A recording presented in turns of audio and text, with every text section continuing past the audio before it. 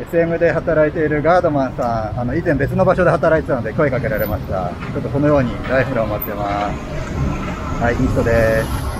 バイバイ。皆さんこんにちは。本日は職場の近くにある SM ラナンというショッピングモールにやってきました。ちょっとどうしても買わなくちゃいけない仕事上必要なものがあるので、えー、やってきました。あの、職場から徒歩で5分もしないところにお昼休み時間に来ています。まあ、せっかくなので今回もモールの中の様子をお伝えします。それでは行ってみましょう。リブスルーピックアップヒア。こういうサービスができたんですかね。なんか注文して、ここでドライブスルーでピックアップできるという。SM の入り口の前のエリアです。タクシーがずらっと並んでいます。以前はこの外の売店も全部開いてたんですけども、えー、この時期なので閉まってる売店の方が多くて一部しか売店開いてないですね。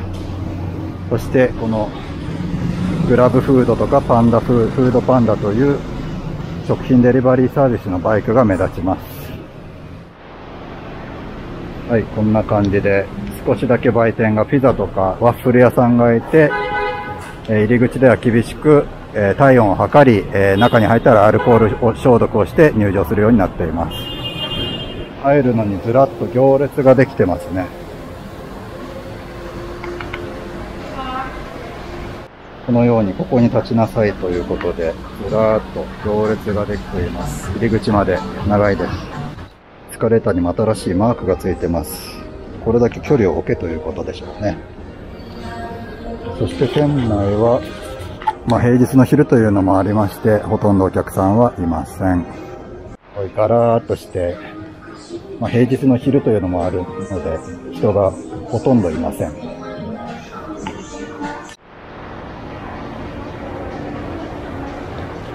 お店は結構開いてますね。平日の昼なのでお客さんほとんどいませんが、あでもやっぱりあの、モール内にあるブースのお店は、あ、でも結構意外と開いてますね。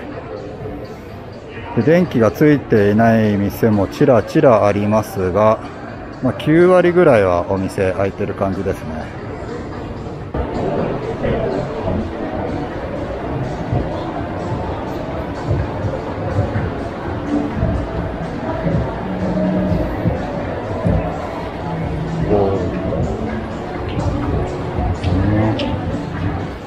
このジュエリーショップ宝石屋さんは3月18日から、えー、暫定的にクローズしてますと。で、中には宝石何も置いてませんね。こちらは映画館に続いている道なのですが、暗いですね。食べ物屋さんが閉まってたり、開いてますね。電子機器、音音響機器は開いてます。でも楽器屋さん閉まってますね。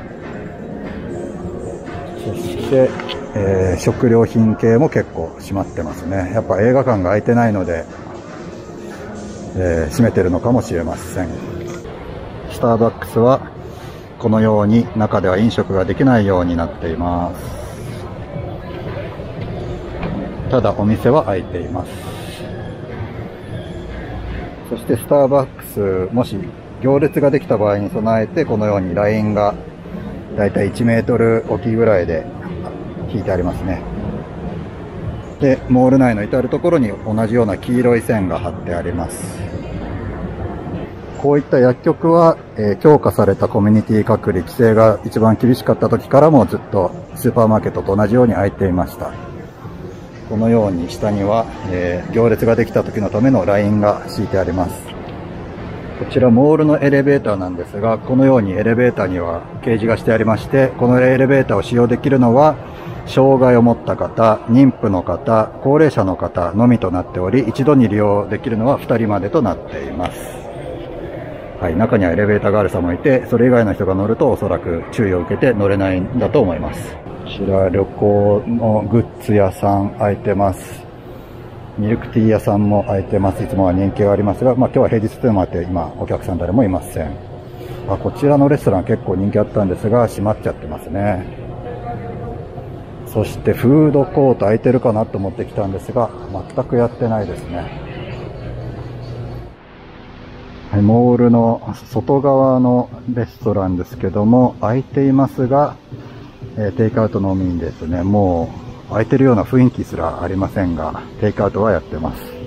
そしてこちら、えー、モールの正面から反対側の裏側ですけども、パークインというホテルがありまして、えー、その周りにですね、コンドミニアムの建設が進んでいるんですけども、えー、強化されたコミュニティ隔離期間中進んでいたのかどうか、はい。ここはもう SM というショッピングモールを中心にして一つの都市ができるというデザインで、えー、コンドミニアム等の建設が進んでいます。病院とかですね、学校も中に作って、作られて、もうここでもう買い物も学校も病院も全て揃うという小さな都市をここに作るという計画でコンドミニアムの建設が進んでいます。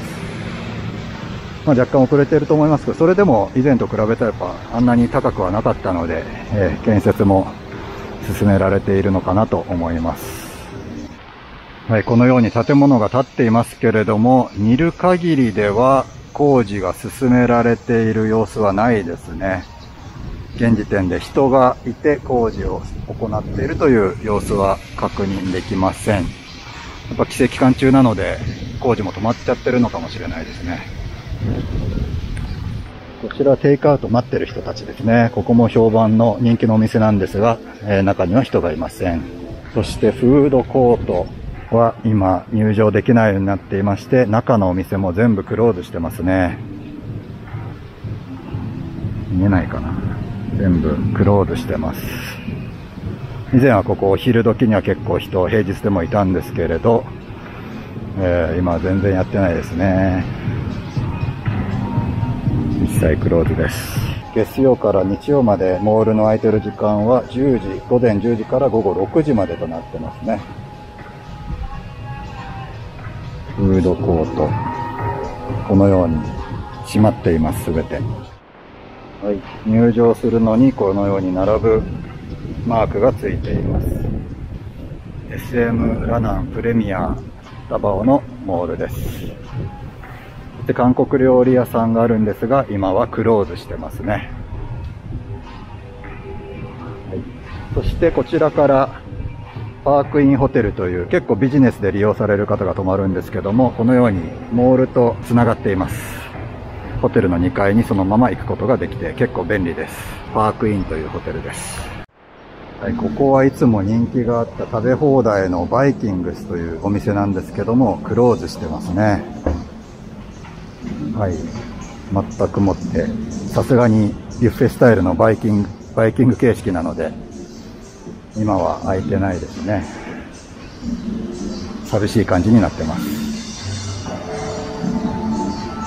そしてこちらのお店も火鍋の店で少し閉まってますね。こちらのパン屋さんは、えー、テイクアウトだけ、あとフードパンダというフードデリバリーサービスも受け付けてます。ああ、ムサというフィリピンの美味しい創作料理屋さんなんですけども、こちらもクローズしてますね。結構やっぱレストラン系はまだクローズしてる店が多いですね。テイクアウトとかデリバリー対応してる店もあればそうでない店もあって半分以上のレストランは SM ラナー閉まっていますね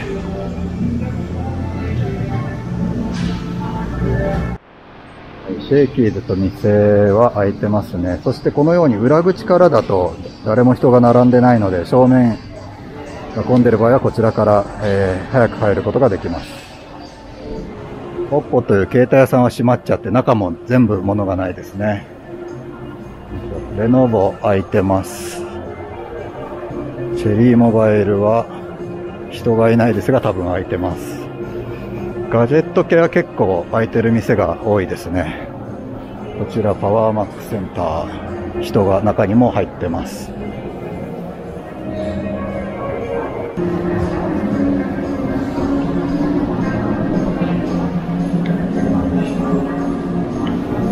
結構ガジェット系空いてる店が多いです。